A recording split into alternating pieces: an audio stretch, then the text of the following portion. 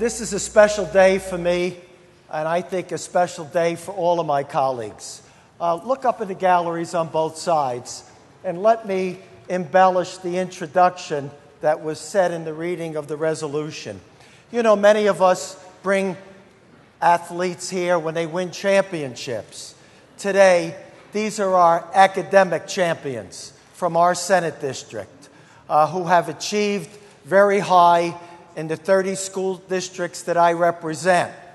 Uh, this morning, we were treated by a presentation by the Honorable uh, Jonathan Lippman, our judge of the Chief Court of Appeals, and Ken Adams, uh, that spoke uh, to some of our bright leaders of tomorrow. And uh, I want to thank them for their words of wisdom. I thought they were terrific. And to the parents that are here, the superintendents, and the teachers that accompanied them today, I say thank you for their support.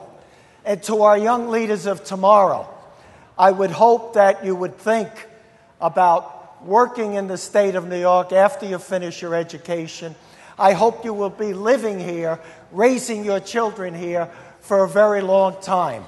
Uh, I want to say in conclusion that, uh, you know, we hear many scenarios in the global economy about China and India and Asia and places in Europe that are going to emerge as the strongest nation in the world.